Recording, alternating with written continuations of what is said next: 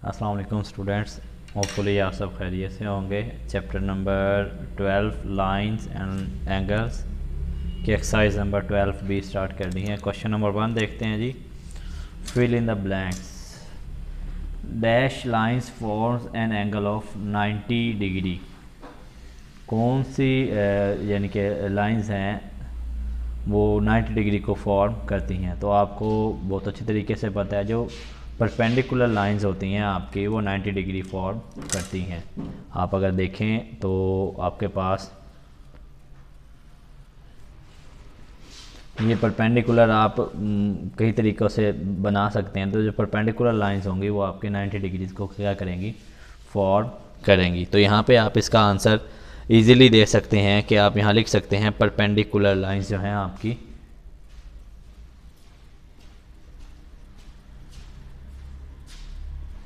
Perpendicular lines ठीक है जी?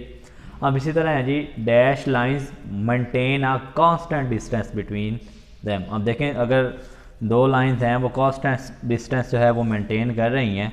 Let's suppose करो ये एक लाइन है, ये दूसरी लाइन है, इनके दरमियान कांस्टेंट डिस्टेंस है। तो ये कौन सी लाइन होंगी? पर पैरेलल लाइंस होंगी। मैं इसका सिंबल लगा रहा हूँ पैरेलल का parallel lines maintain constant distance between them इसी तरह आपके पास थर्ड वाला है one a transversal intersect two parallel lines transversal line के बारे में आपको पता ही है, जब दो पैरल लाइंस पे कोई एक लाइन दो पैरल लाइंस को कट करती है डिफरेंट पॉइंट्स पे तो उसे हम क्या बोलते हैं? ट्रांसवर्सल लाइन बोलते हैं। ठीक है जी? Dash interior angles are form कितने इंटीरियर एंगल्स इंटीरियर एंगल्स और एक्सटीरियर एंगल्स के बारे में हमने बात की थी।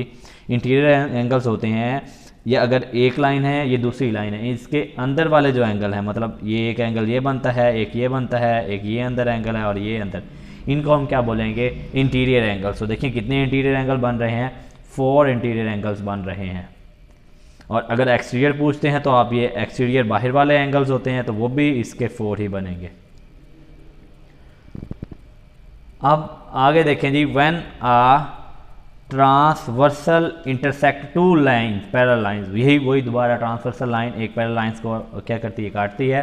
The alternative angles are dash तो अल्टरनेटिव एंगल्स क्या होंगे? तो देख लें जी, एक ये होगा, इसका अल्टरनेटिव होगा और एक इसका अल्टरनेटिव ये होगा। ठीक है जी? तो ये इसके क्या होंगे? अल्टरनेटिव एंगल्स होंगे। और ये याद रहे, ये इसके इक्वल होता है और ये इसके इक्वल होता है। तो यहाँ पे अल्टरनेटिव एंगल्स आर मैं इक्वल लिख सकता हूँ।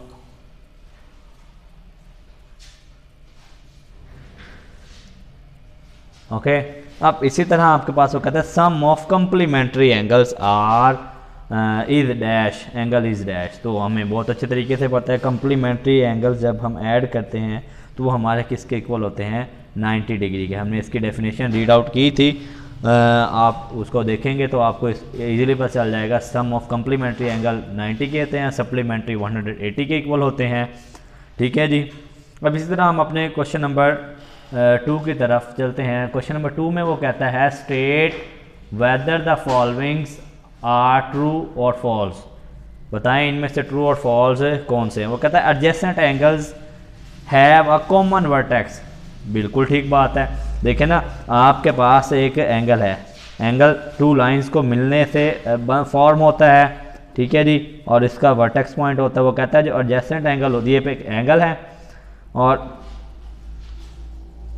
ये वो कहता है adjacent angles have common vertex देखिए, एक एंगल ये है, एक एंगल ये है। अब ये एडजेसेंट इसलिए कहलाएगा, इनका वर्टेक्स सेम है, और एक आर्म भी क्या है, इनकी सेम है। तो यस आप इसको क्या कहेंगे? ये आपका ट्रू है। Supplementary angles are add up to 60 degree बिल्कुल नहीं। सप्लीमेंट्री एंगल्स जो होते हैं, वो आपके टोटल 180 के इक्वल होते हैं। आपको याद होगा एंगल ए एंगल बी और angle C is equal to किसके? आपके 180 तो ये आपका क्या हो जाएगा? फॉल्स होगा। Vertically opposites angles are equal अभी हमने ऊपर रिसेंटली बात की है, ये वर्टिकली अल्टरनेटिव एंगल्स हो जाएँ, ठीक है जी? अपोजिट एंगल हों, ठीक है? वो क्या होते हैं? एक दूसरे के इक्वल होते हैं। तो ये आपका जो तीसरे वाला है, वो आपका क्या होगा? ट्रू होगा, इसी बेस पे। The sum of angles of a triangle is 360 360 होता है नो।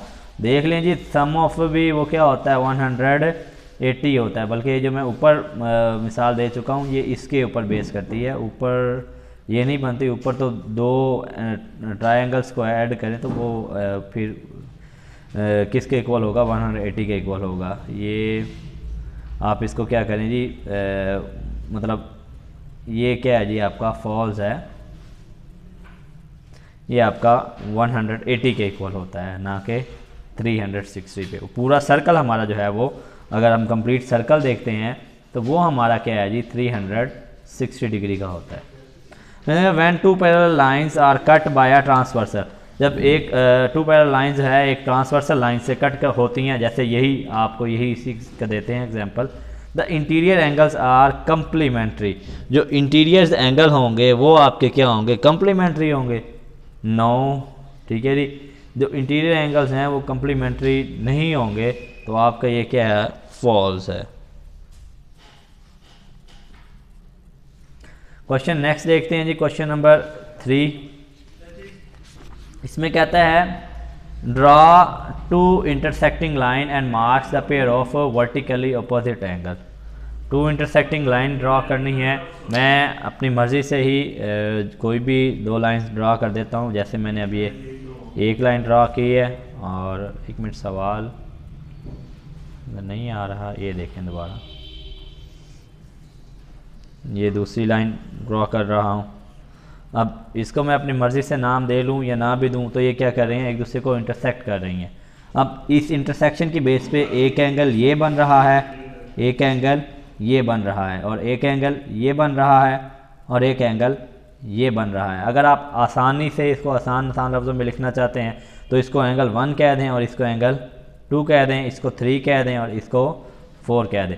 और अब ये वाला एंगल इसके वर्टिकली अपोजिट है और ये वाला एंगल इसके वर्टिकली अपोजिट है। तो आप इजी वर्ड्स में लिख सकते हैं vertically opposite angles angles one angle 1 and 3 oh sorry 2 angle 3 and angle 4 are vertically opposite angles.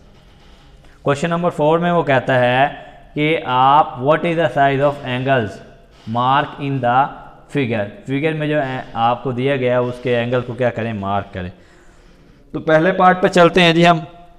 पहले पार्ट में वो पहला मुझमें कह रहा है ए सी बी मालूम करें। इतना एंगल मालूम करना है। दूसरा वो कहता है जी ए यानी कि सी ए डी यानी कि इतना एंगल मालूम करें।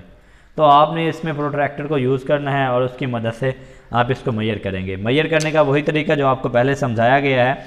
आपने वर्टक्स के ऊपर इसको क्या करना है प्लेस करना है प्रोट्रैक्टर को और आपने अपने लाइन जो है वो स्ट्रेट कर लेनी है। ठीक है? हमने ए बी सी मालूम करना है सबसे पहले। तो देखें, ये आपके पास थर्टी पे आ रहा है। थर्टी से आगे देखें वन टू थर्टी टू तकरीबन आ रहा है। तो आप इसको क्या कह सकते हैं? ये थर्टी टू डिग्री है। ओके? अब आपने ए सी डी मालूम करना है तो आप इसी तरह अब ए सी को स्ट्रेट लाइन बनाएँगे। वर्टेक्स पे वर्टेक्स रखेंगे और आपकी लाइन क्या है? ये देखें, सीधी होनी चाहिए। ये देखें, बिल्कुल स्ट्रेट लाइन ओके? और आप देखें ये आपका टेन से आगे जा रहा है तो ये आपका ट्वेल्व थर्टीन की पे जा रहा है।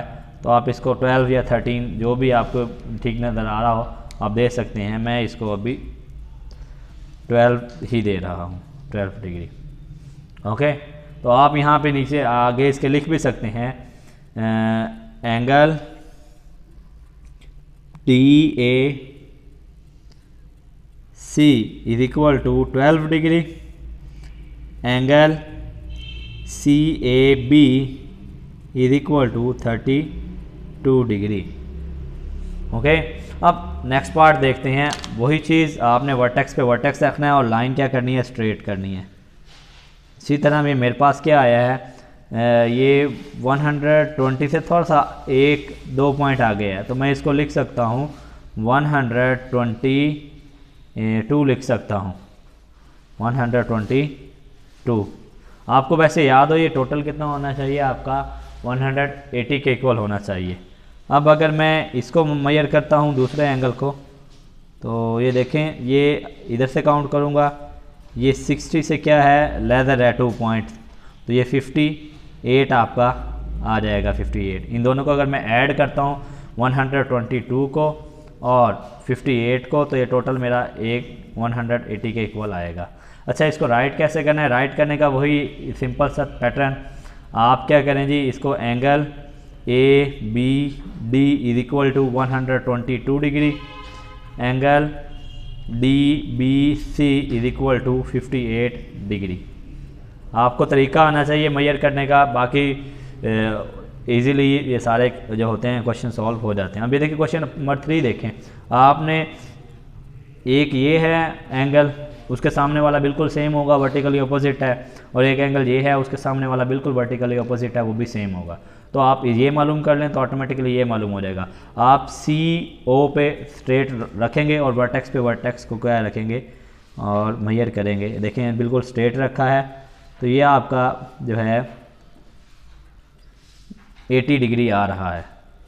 ठीक है जी? लेफ़्ट साइड पे रखा है मैंने। ओ सॉरी राइट साइड पे रखा है और ये आपको काउंट किससे करना है? लेफ़्ट साइड पे। तो ये आपका 100 आ रहा है। तो आप इसको क्या बोलते हैं? ये 100 है। तो इसके ऑपोजिट वाला भी ऑटोमेटिकली आपका क्या होगा? 100 डिग्री होगा। ठीक है जी? अब इस तरह देखें जी अब ये वाला एंगल निकालना है तो मैं ओ डी को यूज़ करूँगा। तो वर्टेक्स पे वर्टेक्स रख के लाइन स्ट्रेट करेंगे। तो आप देखें, मैंने लेफ़्ट साइड पे रखा है और राइट साइड से काउंट करेंगे। और अब देखें, ये 80 के करीब है तो मैं इसको 80 ही कंसीडर कर लेता हूँ।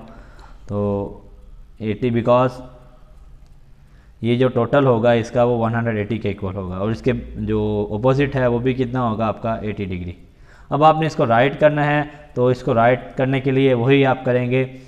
Angle C O B is equal to किसके है? 100 डिग्री के।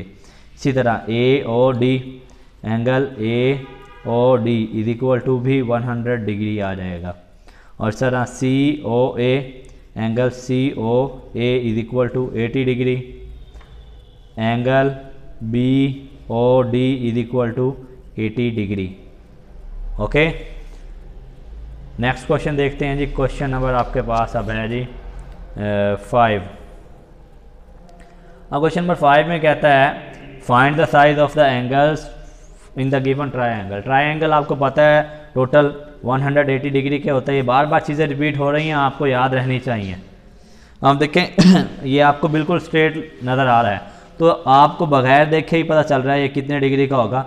90 डिग्री का होगा।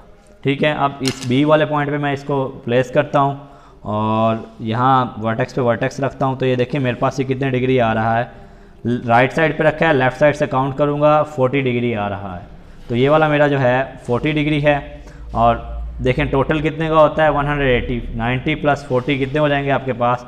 130 तो आप 180 में से 130 माइनस करें तो आपके पास 50 डिग्री आता है। अगर आप चेक करना चाहते हैं तो चेक भी कर सकते हैं, उसमें कोई इशू नहीं है। आप इसको प्लेस करें प्रोट्रैक्टर को और देखें ये 50 डिग्री ही आ रहा है। ठीक है जी?